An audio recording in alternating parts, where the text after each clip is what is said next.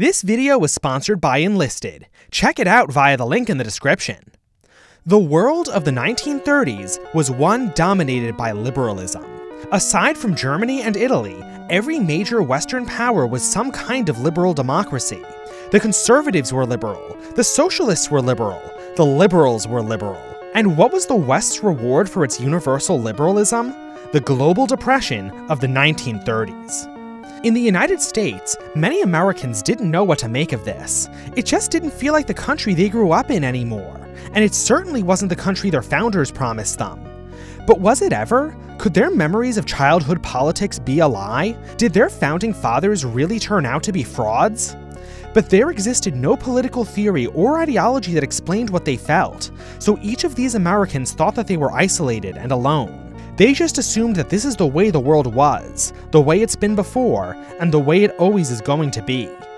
But then, in the 1940s, a series of events transpired which caused these lovers of liberty to realize that they weren't alone, that they were, in fact, a movement. A movement that would soon call itself libertarianism. So you can call me Ezekiel, and this is the history of American libertarianism. But before we talk about the ideology of capitalism, let's participate in it, because this video was sponsored by Enlisted, the new first-person shooter from Darkflow Studios. Enlisted puts you in charge of your own squad of AI soldiers in massive PvP battles against other players leading their own squads. With so many players and AI troops, battles in Enlisted can be massive, with hundreds of soldiers. The game takes place in the most iconic campaigns of World War II, from Moscow to Berlin, and from North Africa to the Pacific. Each one features its own highly detailed army formations and historically accurate equipment, which, of course, includes tanks and airplanes. Mixing PvP and PvE, Enlisted has something for everyone, from casuals to the most hardcore players. The game is available right now on PC, Xbox Series X and S, PlayStation 5, and the previous console generation. So make sure you use our link in the description and pinned comment to get an exclusive free bonus pack, including multiple weapons, soldiers, and a premium account.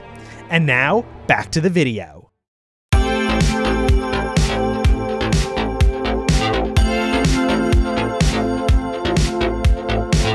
English barrister John Lind commented that Thomas Jefferson's Declaration of Independence was, functionally, an anarchist document. Every government on Earth violated at least one of its inalienable rights. Even a government headed by Jefferson himself couldn't resist the temptation. The Louisiana Purchase was such an amazing deal that Jefferson both violated the Constitution and took on national debt which he hated to make it happen. If even Thomas Jefferson couldn't uphold the principles of limited government and natural rights, who could?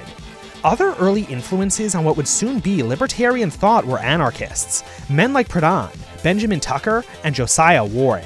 But the most influential of this cohort was Lysander Spooner. Even during the American Civil War, when Spooner was writing, the United States was a very different country from what the founders had envisioned. To Spooner, that meant worse. Conservatives of both Spooner's time and our own constantly bemoan how many political problems would be solved if the government just followed its constitution. But Spooner famously shot back. The Constitution has either authorized such a government as we have had, or has been powerless to prevent it.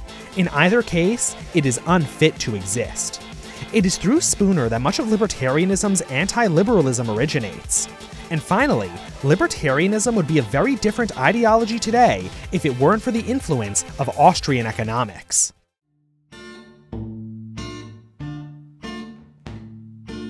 In 1840, Carl Menger published the founding work of the Austrian School of Economics, Principles of Economics.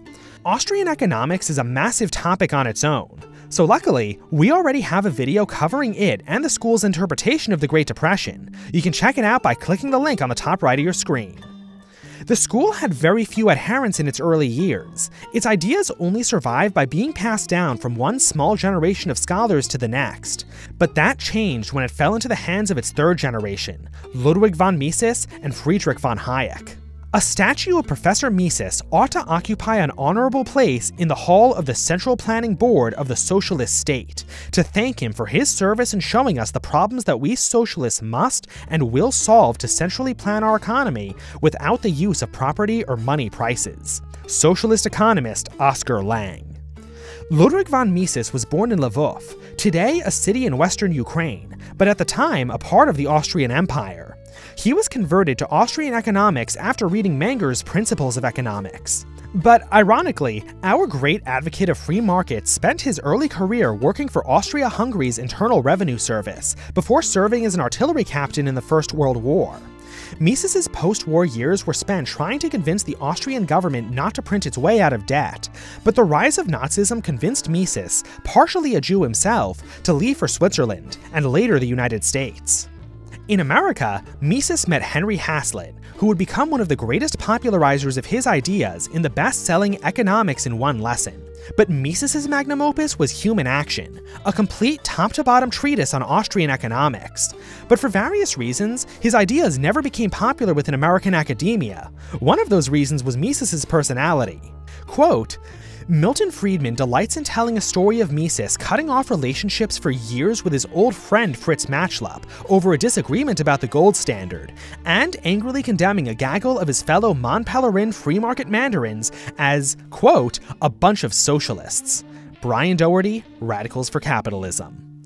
But Human Action was only published in 1949, so fellow Austrian, both by birth and economic school, Hayek beat Mises to the punch. Friedrich von Hayek was also born in Austria, also served in the Austrian Empire's artillery during the war, and also worked for the Austrian government after the war in a position directly under Mises. After trying and failing to break into the American economic scene, Hayek found himself in London, where he started his great rivalry with John Maynard Keynes. While things started great for Hayek, it eventually ended in a Keynesian victory. As the self described penultimate Hayekian put it, in the early 1930s, everyone was a Hayekian. At the end of the decade, there were only two of us. This was largely the result of Hayek getting bored with the rivalry and no longer challenging Keynes's ideas, allowing them to take over the world without resistance. Hayek's most famous work is The Road to Serfdom, it proved to be a far more popular work than Human Action, although less academically influential. This is probably because it's far less radical than Human Action. It even ended with a call for a single global world government. So it's no surprise that the work is just as popular in conservative circles as it is in libertarian ones. As important as the Austrians are, stuffy old men debating economics only influence the libertarian movement. The honor of its creation goes to three revolutionary women.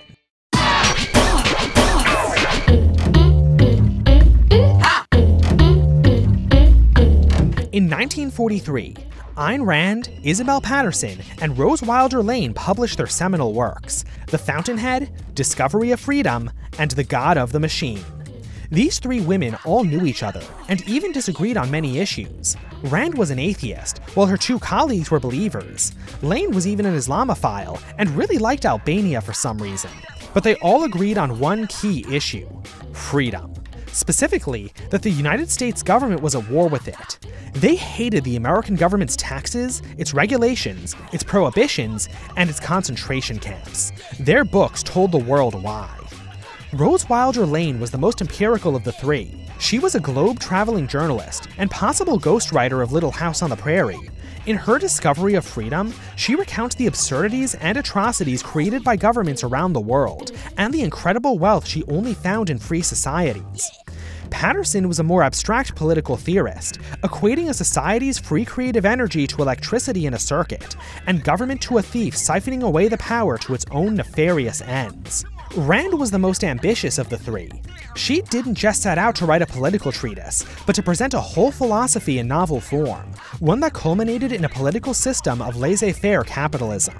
In Rand's philosophy, human freedom, reason, creative vision, and happiness were its core values. In the depressed and war ravaged world of 1943, these ideas spread like wildfire. Across the country, men and women who had thought themselves alone suddenly discovered that they were not alone, that they were, in fact, a movement. So it was time to get building.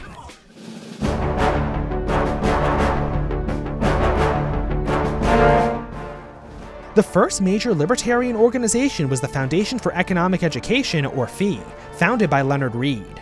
Read was transformed into a radical anti New Dealer after first hand experience with it in the Chamber of Commerce. He then became vice president of the National Industrial Conference Board. It was a pro business, pro market lobbying group. But to the NBIC, business took priority over market. Read thought it should be the other way around. But, and perhaps even worse, the NBIC had a policy of presenting every side of each issue. This outraged Read. As his biographer put it, the other side was everywhere. Even businessmen had come to rely on government. How do you represent both sides when one side is all around you? Soon, Read got in touch with Rand, Lane, and pro market members of the business community and convinced them to help him start the FEE. These connections allowed it to grow rapidly, but not everyone was happy with the FEE.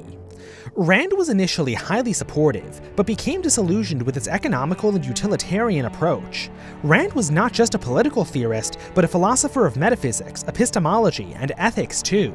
She believed that capitalism's utility was unimportant compared to its moral basis. She was especially annoyed by a FEE pamphlet that claimed that there was no moral difference between free markets and government price controls, and that the only reason why the price controls were wrong was entirely due to their inefficiency.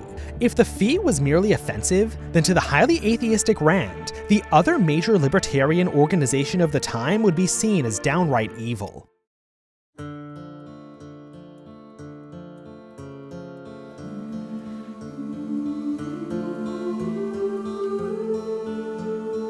In 1943, the General Council of the Congregational and Christian Churches called for an end to America's free enterprise system. This was a move on behalf of the still dominant social gospel movement, which is basically just social justice but with Jesus. This incensed one James William Fifield Jr. He was getting sick of the council's commie bullshit and decided to finally do something about it. He formed an explicitly Christian free market education group, Mobilization for Spiritual Ideals, better known by its shorthand, Spiritual Mobilization. James Fifield was the right man for the job, too, since he was well connected to Leonard Read's FEE through members of his congregation. Spiritual mobilization was massive for the early libertarian movement. They had their own magazine, Faith and Freedom, a nationally syndicated radio program called The Freedom Story, and many of its members preached their Christian capitalism directly from the pulpit. But spiritual mobilization wasn't to last. Fifield retired in 1954 and was replaced by James Ingebretsen, who had once commented that religion was balderdash. And I didn't come to spiritual mobilization as a minister. I came as a lawyer and a libertarian. Fighting the forces that wanted to abolish the free enterprise system was my mission, not promoting Christ. Naturally, his atheism soon gave way to religious epiphany and hallucinogenic drug abuse. Much of this was due to the influence of the Eastern style mystic Gerald Heard. Spiritual Mobilization's leadership became utterly enamored by Heardism, devoting more and more resources into Heard's antics. All of this disgusted the organization's Christian support base, who abandoned it in droves. As a result, by the 1960s, spiritual mobilization ceased to be an effective part of the libertarian movement. While spiritual mobilization shot up and fell down, Ayn Rand's movement would prove to be far more sustainable. She called it objectivism.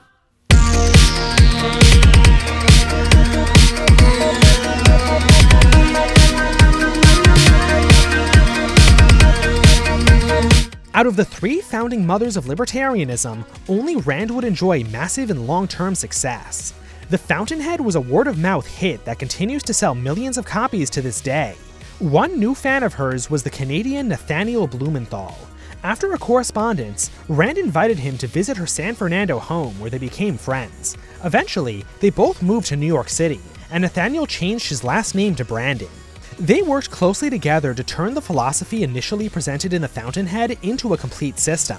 Mises and Hazlitt were also in New York at the time.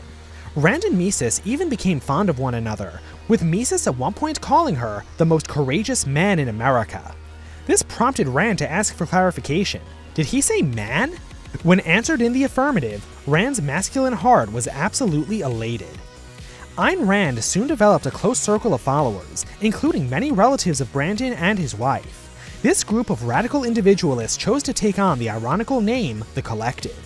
In September of 1955, Rand and Branden announced to both of their spouses that they wanted to begin an affair.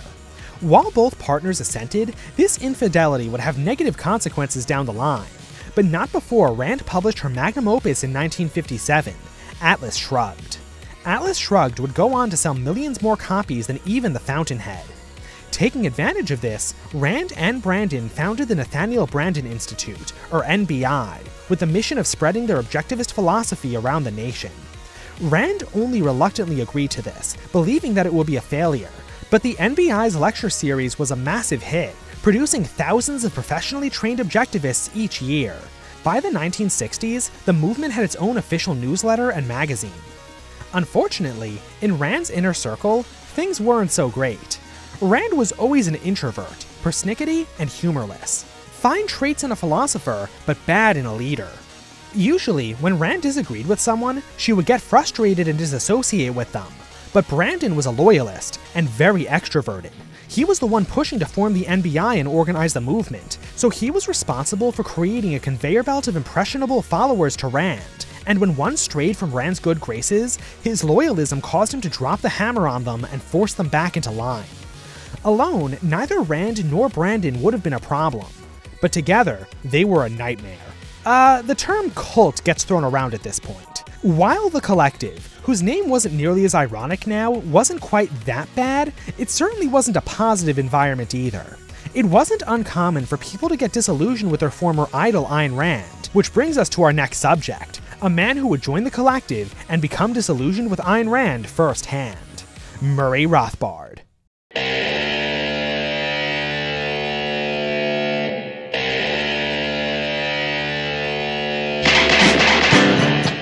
When Ludwig von Mises wrote Human Action, he wrote it, in part, as a love letter to liberalism. Much of the work is apologetics for liberalism and polemics against its enemies. However, in writing his work in the name of liberalism, Mises would unleash something very, very illiberal. In 1926, Murray Newton Rothbard was born in the Bronx to a Polish Jewish immigrant family. It's very strange that the founder of anarcho capitalism would come from such a family, since nearly all of them were communists. Only his father was of the political right. Rothbard's early school years were spent as a Republican in the dying days of the old right, but he soon discovered Austrian economics, which prompted him to attend Mises's lectures at New York University and to do work for Leonard Read's FEE. Always a rebel and an iconoclast, Rothbard delighted in advertising to left wing college students that he was a New York Jew for Strom Thurmond. All in the name of states' rights, of course. Rothbard's libertarianism became even more radical from there, until eventually he was asked in a debate why, if a community could justify having a small state, what principle would stop them from agreeing to a larger state? Rothbard found this argument convincing, so decided that the only way to be a true libertarian was to oppose the state entirely.